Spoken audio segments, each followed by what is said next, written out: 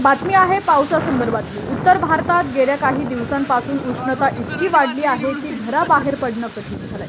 दिल्ली उत्तर प्रदेश राजस्थान आणि बिहारसह अनेक राज्यांमध्ये पारा वाढलाय. उष्णतेचा कहर सुरूच आहे. अनेक शहरांमध्ये तापमान पन्नास अंश सेल्सिअसवर पोहोचलंय पण या दरम्यान एक मोठी गुड न्यूज देखील आली आहे. येत्या चोवीस तासात मान्सून केरळच्या किनारपट्टीवर दाखल होईल असं हवामान खात्यानं म्हटलेलं आहे. त्यामुळे लवकरच दिलासा मिळण्याची शक्यता आहे. पुढील काही आठवड्यात मध्य आणि उत्तर भारतालाही उष्णतेपासून दिलासा मिळणार आहे. बुधवारी हवामान खात्यानं अंदाज वर्तवलाय की मान्सून केरळकडे सरकत आहे जो आतापर्यंत मालदीवच्या आसपास होता. तो आता केरळकडे सरकत आहे. त्यानंतर मग तो उत्तर पूर्व राज्याकडे सरकणार आहे.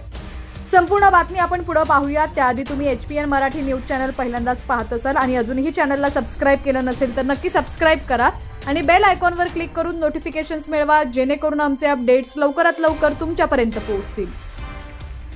तर उष्णतेच्या लाटेचा सामना करणाऱ्या उत्तर आणि मध्य भारतातील राज्यांसाठी हवामान खात्यानं दिलासादायक बातमी दिली आहे. तीस मे पासून उष्णतेच्या लाटेचा प्रभाव काही प्रमाणात कमी होण्यास सुरुवात होणार आहे.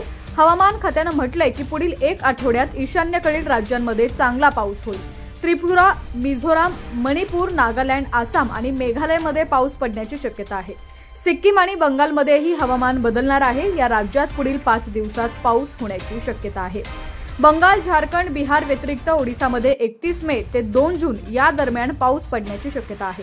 काही ठिकाणी वादळ येण्याचीही शक्यता आहे. हिमाचल प्रदेश उत्तराखंड आणि जम्मू काश्मीर या राज्यांमध्येही हवामान बदलणार आहे. डोंगराळ भागात हलका पाऊस पडू शकतो. मुंबई आणि महाराष्ट्रात देखील लवकरच मान्सून दाखल होणार आहे. त्यामुळे उन्हाच्या तडाख्यापासून नागरिकांची लवकरच सुटका होणार आहे. येत्या दहा किंवा अकरा जूनला मान्सून मुंबईत दाखल होणार आहे. त्यानंतर पंधरा जूनपासून तो पुढे संपूर्ण महाराष्ट्रात पसरणार आहे. हवामान खात्यानं यावर्षी सरासरीपेक्षा जास्त पाऊस पडण्याची शक्यता वर्तवलेली आहे. यंदा सरासरीपेक्षा एकशे सहा टक्के पावसाची शक्यता आहे. पावसाचे दररोजचे अपडेट्स पाहण्यासाठी H P N Marathi news चॅनलला सबस्क्राईब करा आणि बेल आयकॉनवर क्लिक करून नोटिफिकेशन्स मिळवा. जेणेकरून आमचे अपडेट्स लवकरात लवकर तुमच्यापर्यंत पोहोचतील.